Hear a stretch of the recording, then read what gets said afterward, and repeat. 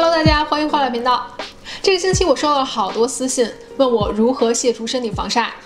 来了，今天给大家介绍一下我如何卸除一些防水防晒霜，有卸妆油、沐浴油，还有卸妆巾。我们一起看下去吧。第一大类卸除防水防晒的产品是油类，以油溶油其实是最简单、最快速的方法。油类可以快速的溶掉你身体上的那层防晒膜，它破坏掉、分解掉那层膜。我们平常其实可以用卸妆油，但我知道市面上大部分的卸妆油都性价比不是很高，所以我们就可以用沐浴油来代替，专门的身体沐浴油。像这款贝德玛的 Atoderm 专门的 Shower Oil，它就是在洗澡时候使用的，不是那个 Body Oil，它是 Shower Oil，就是在你湿用、干用都是可以的。你看上去它就油油的，但它一遇水就会起小泡泡，它会起低泡。一下子就冲干净了，绝对洗完之后不会有油腻感。我刚开始用沐浴油的时候，完全颠覆了我对沐浴乳的认知。没有想到一个油还可以把身体洗得这么干净，而且也不会说之后会拔干啊什么的。如果你看成分列表的话，这一类的身体油都是会有一个成分叫 PEG seven，是一个很常见的表面活性剂，它遇水就分解掉了。一遇水就可以乳化，轻松洗掉油膜。这款贝德玛的里面还有木糖醇、烟酰胺，还有维生素 E 的添加，所以洗完之后也不会觉得紧绷，有保湿的效果啊。如果你真的完全不能接受，呃，有一层油膜的感觉，你可以拿它当做二次清洁，就和我们脸部一样的嘛。你先用卸妆油，再用你普通的洗面奶。像这种沐浴的话，你就先用这个沐浴油，再用你普通的沐浴泡泡，是一个效果的。而且，比如说你出汗很严重的，其实你用肥皂什么的，真的洗不干净。你只有有油溶油，才可以真正把你身上那些脏污啊、油脂啊，全部都分解掉。它洗完那个皮肤的柔滑、柔顺感，还有你洗的那个干净的程度，真的是普通的沐浴乳没有办法比的。啊，还有一款沐浴油是依泉的。这个很像，也是法国的药妆品牌，但那款跟这个成分几乎一模一样啊，也是有一些表面活性剂，然后有一个 fragrance，但是它之后不会留香，就是一洗掉那个香味就没有了。那款一泉要比贝德玛的泡泡再丰富一点，但是它们其实洗完都差不太多。夏天我离不开沐浴油，还有一个原因，说出来其实有点尴尬啊，大家都会用腋下止汗膏吧？你知道那个止汗膏到你的腋下之后会留一层那种白白的膜，或者是一层膏体，就封住了你的皮肤。一层膏体很难用肥皂或者是用沐浴乳清洁掉的。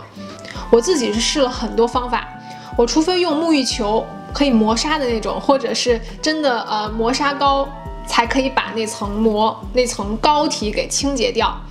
只要用这个产品，你轻轻的在腋下揉一下。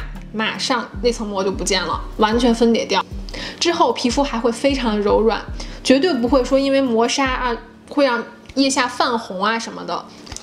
还有一个产品，我觉得你们一定会问我的，就是前几年非常火的欧舒丹杏仁沐浴油。那这款我是在年少无知的时候用过，我当时觉得嗯还不错，但是我后来没有再回购。我现在终于知道是什么原因了，太香了。那个香味儿香到你之后洗完澡用了身体乳上床睡觉，第二天我都能闻到。我不知道，我可能比较敏感，对香味比较敏感了。但是它真的很香。我查了成分才发现，它里面的香料有十种，真的我不夸张。你整成分列表、配方表最后的十种成分都是香料，什么芳香醇啊、香茅醇啊，还有 fragrance，还有什么。提取物就是所有的香料，它都添加进去了。那个香味儿就是甜杏仁油的味道，味道其实还可以，不是说难闻，只是说它这个留香会持续很久。早上洗澡的话，你之后要上什么呃香水啊之类的，我觉得可能都会闻到。它还是有优点的，那款它用的油全部都是植物萃取的油，不是那种人工合成的。它通过乳木果油、杏仁油还有椰子油分解掉这个油脂。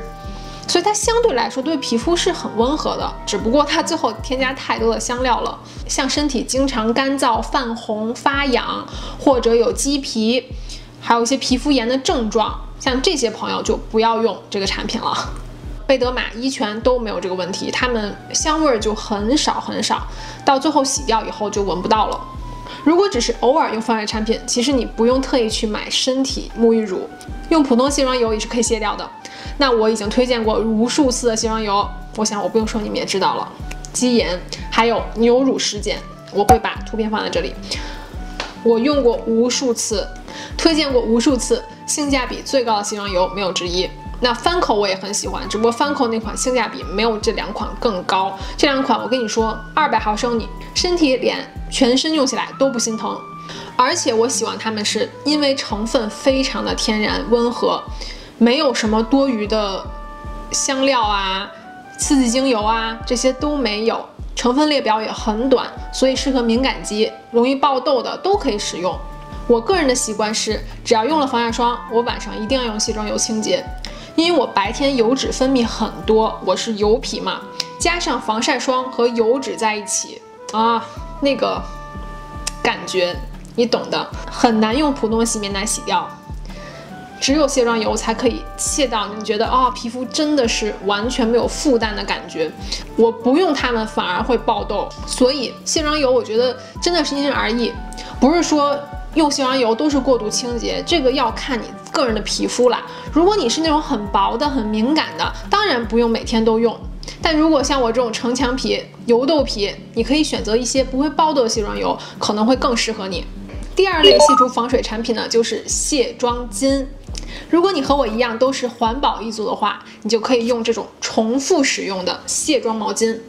那这款其实很多年前就已经很火了，是那个 Makeup Eraser 那个牌子。现在市面上出了很多各种各样的牌子啊，都是可以的。注意买的时候就这种要买这种长毛的纤维毛巾，就专门的遇温水可卸除的，不用添加任何的卸妆液就可以卸掉身体上的一些。残留啊、油脂啊，还有防水的那些产品，那我特别喜欢它，就直接拿到浴室洗澡的时候用。洗澡的那个水的温度真的刚刚好，你就直接把它打湿，什么腿呀、胳膊呀、身体啊，都是可以一擦，防水产品全部都卸掉了。因为它这种长毛的纤维嘛，不会说很摩擦皮肤，它跟你那个浴球或者是磨砂质地的磨砂膏什么都是不一样的，身体上那层油脂可以带走。不会说有过度清洁的情况，清洗也非常方便，像毛巾一样丢到洗衣机就可以洗干净了，自然晾干或者用太阳晒一晒都是可以的。现在除了卸妆巾，竟然也出现了重复使用的卸妆棉。对，卸妆棉就是我们普通卸妆棉不是长这样吗？也是一个原色的棉片，只不过它是用竹子和棉花制成的，可以重复利用的概念也是像你平常的卸妆棉一样用。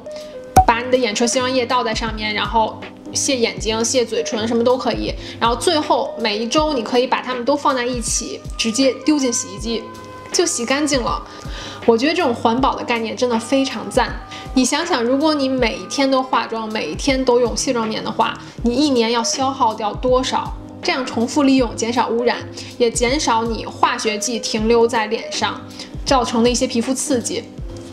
出门在外的话，可能不方便用这种重复使用的毛巾，那我们只能用普通的卸妆湿巾了。卸妆湿巾市面上太多种选择了。我记得我刚来美国的时候，大概是十几年前，又暴露了年龄。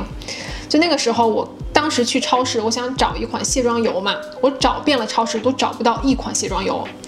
全部都是卸妆巾 （makeup wipes）。我觉得卸妆巾可能是美国人几十年唯一的卸妆方式，就是用卸妆巾擦脸。他们皮肤真的有那么耐造吗？我觉得真的那么厚吗？不会泛红吗？但他们真的是这么用。就我猜，他们几十年来都觉得这不是一个问题，没有必要用什么卸妆油啊什么的，就一擦再洗个脸就 OK 了。虽然想想也是很蛮不错了，但是我真的不推荐。我真的不会用任何的湿巾去擦脸，因为你一擦，你那个皱纹啊什么全部都擦出来了，而且很多卸妆湿巾里面有那个酒精、香料什么各种各样的成分，对皮肤非常的不好，所以我是不用卸妆湿巾去擦脸的。我会擦哪里呢？我会擦，比如说像身体防晒呀，还有脖子下面啊，这下面这个胸部以上这个位置，有时候会擦防晒嘛，就平常不容易洗到的位置。或者是一些呃手上的残留彩妆啊，平常上妆的时候会擦一擦手啊，手臂试色啊，彩妆试色啊这些。所以卸妆湿巾在我这儿唯一的标准就是一定要够湿，就它不可它不能说让我一擦就拉扯皮肤，让我觉得很不舒服，这是最重要的。我个人认为啊。如果这个东西再好用，如果它很干干的，我也不愿意使用。第二要求就是性价比一定要高，因为你浑身都擦嘛，你不是说只擦脸，消耗量很大。所以这么多年我一直在找，尤其美国和国内我都在找。但美国这边我用下来，我觉得非常好用的，性价比超高的就是 Walmart 这款 Equate，Walmart 自己的品牌啊，叫 Equate，嗯，Original Clean。他们家有好几款，那这款是有六十个六十张纸的，里面有六十抽，那还有一个是四十抽，也很好用。就他们家的卸妆湿巾真的都非常的好用，为什么呢？因为你看它的盖子是塑料盖的，它不是那种路德清那种膜直接盖上，你知道吗？那种就很容易蒸发掉那个水分。你每一次用完以后盖上，密封性很好，不会流失掉水分。你即使用到最后那个湿纸巾还是很湿。平常早上我上妆的时候，其实都会用它擦。像你们，你看我平常这是已经擦过的脏的这种，就是说擦个粉底啊什么的都是可以用它的。然后再说国内的话，我每次回国的话，我比较喜欢两个，一个是曼丹的，还有一个是屈臣氏的自营品牌。曼丹的那款，它的液体非常的充足，就它那卸妆湿巾真的是可能是市面上我觉得最湿的卸妆湿巾了。然后就是屈臣氏的那款自营的，我也很喜欢，有一个绿茶的，还有一个蓝色包装的，我都用过，我觉得都很好用，也是塑料盖子的，卸妆力度也够，然后纸质的那个质量也很好。屈臣氏那还是相对来说小包装，平常也可以放在包包里，随时拿出来用，很方便。然后最后一个也是跟大家私心推荐的，我平常用的东西是这个 Wet Wipes，是这款 Sensitive Skin 的，它是无香料、无酒精，真的是给敏感肌使用的。它因为没有酒精啊，你不能拿它来消毒。像疫情期间嘛，很多人说要用什么擦手巾消毒啊，那这个就没有这个功能，它只是给你把啊脏脏的东西都给擦掉而已。如果你想买呃含酒精的，可以买它红色包装的那款，就是因为这款绿色包装的无香料无酒精嘛。我有时候拿它来擦嘴，比如说你吃饭之后，你可能口红啊什么的就很 messy，你就拿可以拿它擦一下嘴，还有然后补涂防晒霜嘛，手会很油腻也可以拿它擦。这个真的是我回购无数次的湿纸巾了。然后还有它有这款小包装的，有没有很方便？它就是一个一个的。直接放在你的包包里，像女生的包包现在做的越来越小，这种小包装的非常贴心，擦完以后也绝对不会紧绷。里面有这个黄瓜和芦荟的提取物，也可以稍微保湿一下之后再擦护手霜。这个 Y Ones 真的是我私心推荐，我觉得没有什么人会在视频里说这种湿纸巾吧，但这个湿纸巾真的是用过很多年，非常好用的一款。因为疫情的关系，我觉得可能不太好买了。如果我看到了，会把一些链接放在下面，你们可以去看一看。这期的你问我答是大家很关心的一个问题，关于 A 酸 A 醇如何和活性成分搭配。那我个人是不建议 A 醇搭配其他的活性成分的。如果你一定要搭配的话，最好的选择就是烟酰胺。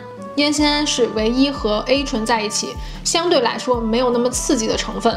有一些科学研究证明，它们在一起搭配效果会更好。当然，这个是因人而异。敏感肌的话，我还是建议你一步一步来。像果酸、水杨酸和 A 醇是绝对不可以的，那样就等于毁脸和烂脸。一种酸皮肤已经很难吸收、很难接受了，你还搭配一个其他的酸进去，你相当于去角质加上焕肤加上新陈代谢的提高，那你皮肤能受得了吗？尤其最开始用视黄醇或者 A 酸的朋友们，一定要一步一步来。你可以先隔两天使用一次，然后再隔一天使用，最后再每晚使用，这样循序渐进，效果比较好，也不容易有副作用。比如说副作用像脱皮呀或者爆痘啊什么的这些，如果你循序渐进来的话，很少会出现这种情况。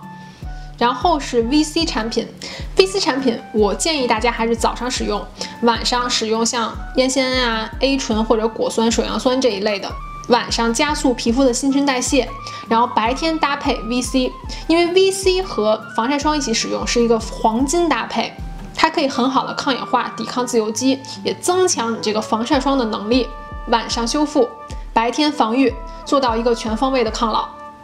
好，那希望这期视频对大家有帮助。有任何想看的主题都可以给我留言。那这期的视频也是大家给我的灵感，你们每个留言我都有认真看，我没有回复的我都有拿小本本记下来，之后的视频会说到。喜欢的话记得点赞关注我的频道，我们下期见，拜。